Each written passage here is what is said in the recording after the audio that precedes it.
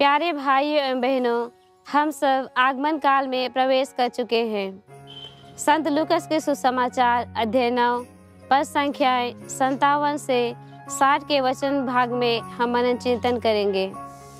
इस वचन भाग में हम देखते हैं, ईश्वर अपने अनुयायियों को शिष्यत्व का ठोस उद्देश्य दिखलाकर अपने पीछे चलने का आमंत्रण देते हैं, यानी शिष्य बनने का शर्त जब यीशु यरूशलेम के राह पर चल रहे थे, तब एक व्यक्ति ने आकर कहा, प्रभु, आप जहाँ जहाँ जाएँगे, मैं आपके पीछे चलूँगा।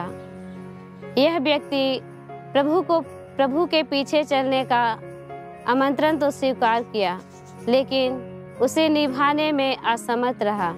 प्यारे भाइयों एवं बहनों, हम बपतिस्मा संस्कार के द्वारा ईश्वर के अनुयायी हो चुके हैं।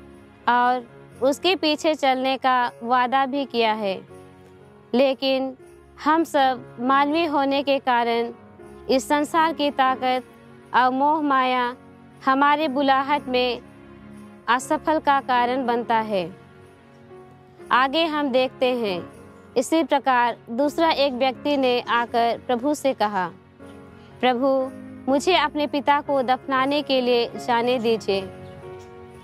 प्यारे भाइयों एवं बहनों, ईश्वर के पीछे चलने से हमें ये तीन इच्छाएँ और लोभ आज भी हमारे जीवन में ईश्वर के प्रेम से अलग कर रही है।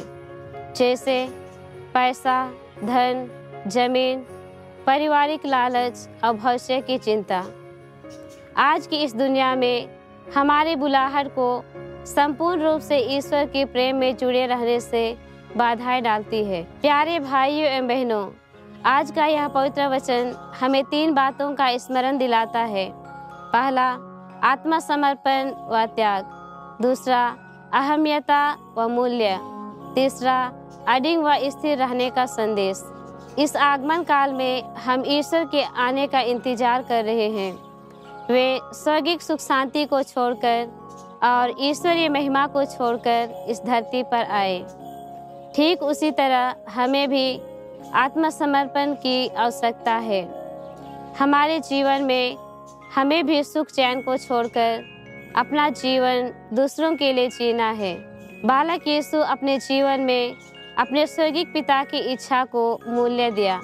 हमें सदैव हमारे जीवन में ईश्वर की इच्छा को पहला स्थान देना चाहिए।